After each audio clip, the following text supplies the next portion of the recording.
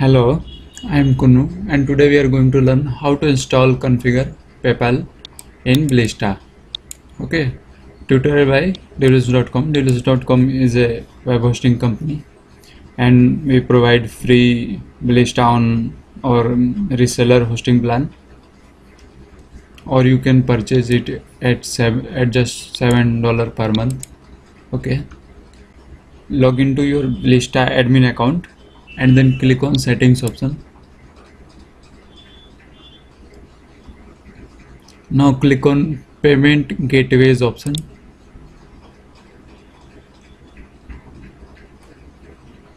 Okay. Eh, thi- thi- this is left sidebar. Scroll down. And under payment gateways option click on available. Available scroll down. This is for PayPal Payflow Pro okay? So we don't need to use it. We are going to install normal standard payment option of PayPal.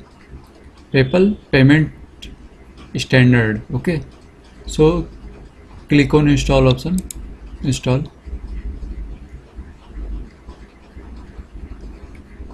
okay. In this area you need to enter your paypal email address. Example. Okay. In api username enter your paypal api user. You can get api from your paypal account. Enter api password api signature. And this is for paypal test mode sandbox okay? Sand for PayPal sandbox environment. So leave this as it is. Do not enable this unless you want to test your Pay- PayPal gateway okay? Under accept accepted currencies select USD or any other currency you wish to accept and then click on update settings. Okay. Paypal you can see successfully installed and you can also click on manage and if you want to update it then update your api username password paypal main account email address etc okay. Now we need to set up we need to set up PayPal IPN. So what you will be need to enter your PayPal IPN. This is so simple. For example, you will be need to enter like this one http example.com okay if your blesta is installation address of your blesta like blesta and this one blista callback gw okay slash paypal payments standard this url for example if your blista